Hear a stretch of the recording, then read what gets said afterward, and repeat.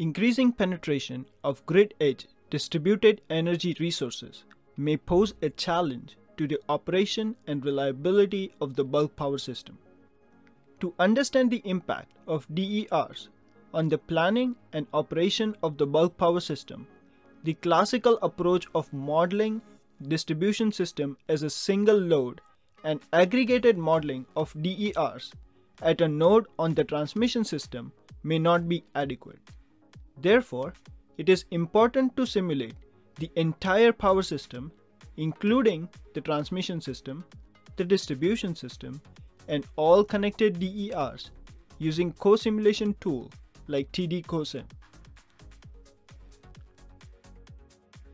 Created by Argonne National Laboratory with support from the Advanced Grid Research and Development Division at the Department of Energy's Office of Electricity, TD CoSim is an open source simulation package for co-simulation of transmission and distribution systems with or without DERs.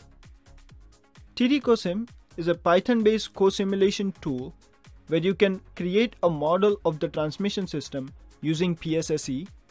Then you can connect multiple distribution systems at various nodes of the transmission system using OpenDSS. And finally, you can connect multiple PVDERs at various distribution buses using the PVDER simulation utility. Using TD CoSim, we have simulated power systems with more than 250,000 nodes, which shows that it is well equipped to simulate large power systems. TD CoSim also includes tools for data analysis and data visualization. Now you might ask, what kind of simulation I can run using TD CoSim?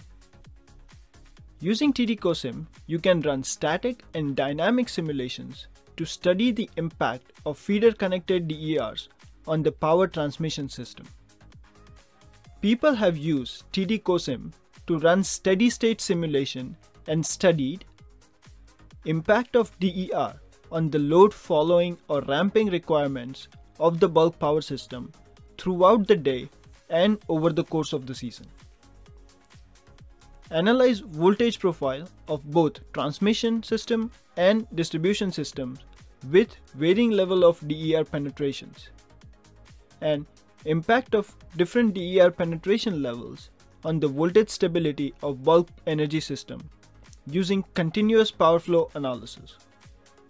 Similarly, using dynamic simulations in TD CoSim, you can study impact of DER's tripping or ride-through settings on voltage and frequency stability of the bulk power system during and post transmission system faults.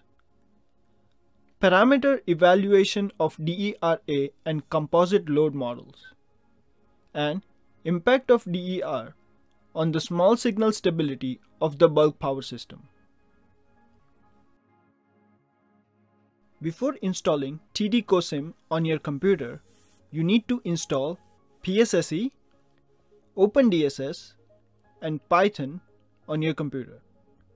Then TD CoSim and PVDER simulation utility are available as open source Python packages from GitHub. Here are some useful links to our GitHub repositories where you can find detailed installation instructions and a user manual.